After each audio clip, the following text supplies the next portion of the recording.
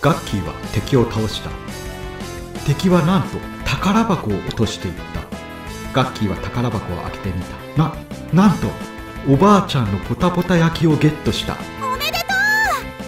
とそれではこのゲットしたおばあちゃんのポタポタ焼きを使って大学入学共通テスト情報のサンプル問題を解いていきたいと思います。うよろしく頼むぞ。それではよろしくお願いします第3問次の文章を読み空欄あからうに入れるのに最も適切なものを文の後の回答文のうちから一つ選べというところでこちらの方は日課、敷地などといった用語が分かってないと解けないと思いますので、まずは用語の説明をしていきます。まず、日課。それは画像を白と黒に変換することになります。グレーは含まず白か黒のことになります。では、このゲットしたおばあちゃんのポタポタ焼きを日課をしていきたいと思います。こちら、Photoshop のソフトを使っています。今はカラーの写真になりますけど、これを黒と白の2種類の色だけに置き換えてみましょう。そうすると、このような感じになります。そして後から説明しますけど、どの明るさまでを黒にするか、どこからを白にするかというところを決めれます。これを敷地と言います。このような感じですね。この三角の矢印を右側にずらすほど黒くなります。全体が黒になります。つまり、この三角の矢印を基準として、右側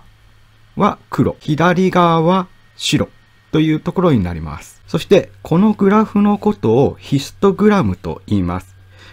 こちらのグラフは、この写真1のせんべいの写真と対応しています。山が2つありますけど、その色の数を表しています。例えば、この写真で言うと、大きく2種類の色がありますよね。この背景の色と、このせんべいの色。どちらかというと、せんべいの色の方が暗いというところがわかります。こちらの図の方は、左に行くほど暗い色になります。右に行くほど明るい色、白色に近くなります。つまり、せんべいは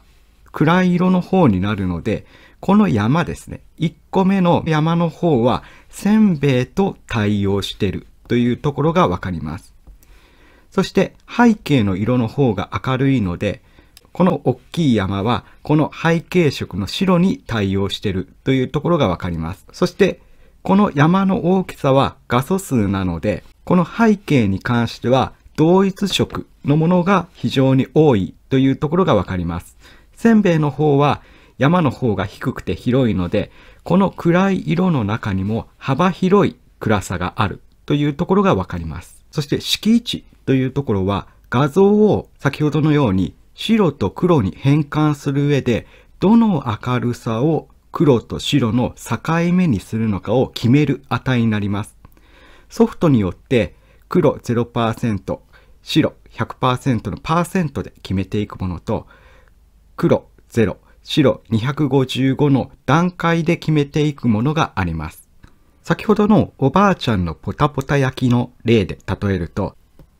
こちらの大きい山の方がせんべいの本体というところになります。そして、こちらのちっちゃい山方は背景というところがわかるので、ここの敷地というところを、このせんべいと背景の境目のこの部分ですね、へこんだ部分にすると、せんべいの部分がくっきりと見える感じになります。そして背景も含めて黒にしたいという場合は、この敷地を右側にずらすと、この背景も含めて全部黒になるので、このように全部が黒になります。逆に、せんべいも背景も白くしたいといった場合は、この2つの山の左にこの敷地を持っていくと、まあ、ポタポタ焼きだけが見えるといったような感じになります。では、今話した内容をもとに本文の方を読んでいきたいと思います。ある菓子メーカーの工場では、出来上がったせんべいを袋詰めにする前の製造ライン上でカメラ撮影して、割れや欠けなどの不良品の検出を自動で判別する装置を導入している。装置は割れや欠けがあるせんべいを判別しやすいように、撮影した画像を白と黒の二段調に変換、先ほど言った日化して処理をしている。図1は写真1の画素を明度でヒストグラムに表したものである。日化を行う際の濃度変換の分かれ目となる濃度値、括弧式値、先ほど言った式値ですね、を A と B とした場合、式値 A の時の画像はあであり、式値 B の時の画像はいとなる。というところで、こちらですね、式値を A にした時と B にした時。A はこちらのせんべいの中途半端なところの山ですね。そして B は完全にせんべいの部分とこの背景の部分に分かれてるというところがわかります。そして回答群がありますけど、こちらは日化というところは白か黒かどっちかなので、このグレーというところは入らないというところになるので、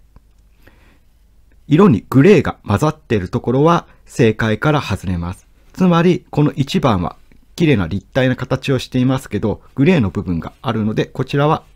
そもそも日化ではありません。そして2番もグレーの部分があるので日化ではありません。そして5番も日化ではありません。そうすると0、3、4に選択肢が絞られます。そして A はせんべいの中途半端な部分。こちら A の式位置の部分で「あ」に当てはまるのは0番が正解になります。そして B の部分はせんべいと背景が完全に分かれてる。せんべいと背景がくっきり分かれているものがどれかといったらこちらですね。4番が正解になります。また、この装置では割れや欠けがあるせんべいを判別しやすいように、プログラムで自動的に日化の式位置を決めている。図1のように、明度と画素数のヒストグラムにおいて2つの山型があった場合、最適な式位置は、うと判断することができるというところで、今説明したように、せんべいと背景を分けたいというところが目的なので、このせんべいの山と背景の山の中間に式位置をすれば、はっきりせんべいと背景が分かれるというところが分かります。つまり、この部分を示しているところが正解になるので、正解としては4番の2つの山の間の最も画素数が少ない明度というところが正解になります。以上になります。おめでとうレベルアップだよ